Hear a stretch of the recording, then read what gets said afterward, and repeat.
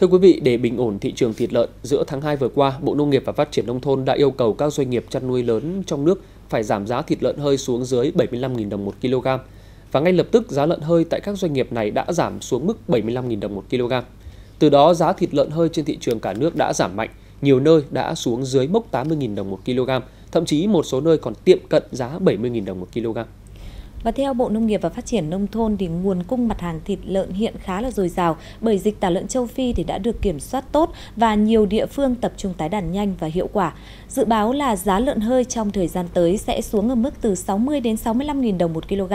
Tuy nhiên trên thực tế thì Ờ, bước sang những ngày đầu tiên của tháng 3, giá mặt hàng này đã quay đầu bật tăng mạnh và một số chuyên gia đặt câu hỏi là liệu có hay không chuyện găm hàng và tạo khan hiếm ảo để đẩy giá lên cao. Tại sao giá lợn hơi lại tăng cao trở lại chỉ trong một thời gian ngắn như vậy?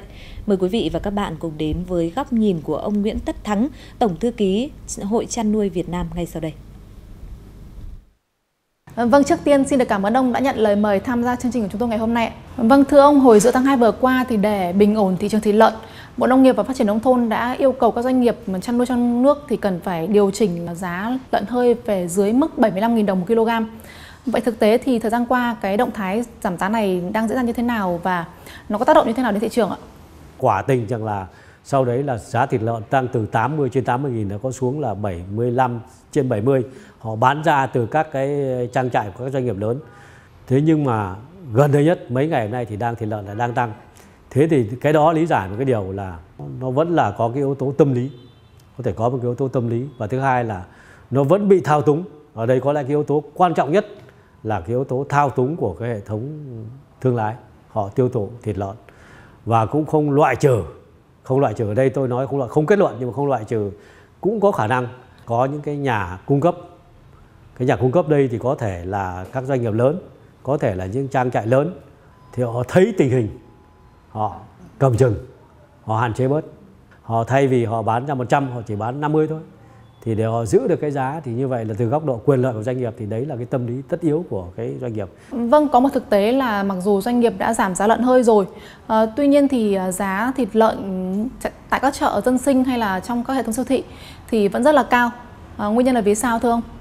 Hệ thống phân phối thịt à, lợn thực phẩm của mình nói chung cho có thịt lợn nói riêng thì là hiện nay cũng là đang là một cái tồn tại là là nó vẫn thông qua cái kênh là các thương lái là phần lớn phần lớn như người ta nói là cỡ khoảng độ trên 80% có số liệu của nó là 90% cái lượng thịt lợn tiêu thụ trên thị trường hàng hàng ngày hàng năm là thông qua hệ thống thương lái ở ngoài các chợ thì qua đó để thấy tức là đấy là một cái bất hợp lý mặc dù là nhà nước mình rồi là cơ quan chức năng đều thấy nhưng đến bây giờ vẫn chưa khắc phục được vẫn phải qua hệ thống đấy À, vâng trong năm ngoái khi mà giá thịt lợn tăng phi mã thì đã không ít lần Bộ Nông nghiệp mà yêu cầu các doanh nghiệp là cần phải giảm giá mức thịt lợn hơi xuống còn 60.000 đồng một kg. À, tuy nhiên lần này tại sao thì lại là 75.000 đồng ạ? Dù sao mà nói đây cũng chỉ là một mệnh lệnh mang tính hành chính. Nó không phải là một giải pháp về kinh tế, nó rất là khó. Cho nên là tôi nghĩ là nhưng mà mình áp đặt cái ý chí đó để cho các cái doanh nghiệp đầu mối cái doanh nghiệp mà mà mà mà sản xuất lớn người ta chủ động người ta đề xuất xuống thì theo tôi cái động tác đó là động thái đó là cần thiết là có nhưng còn lại mà muốn áp còn cái nguyện vọng có thể muốn giảm hơn thì tôi nghĩ là ở cái mức đó thì nó phù hợp để cho nó nếu có muốn giảm nó cũng phải giảm dần dần cái giá thành bây giờ tính toán kiểu gì, ai tính toán ở đâu thì cũng phải thừa nhận là không thể vượt quá được cái cỡ 45 50 nghìn một cân được.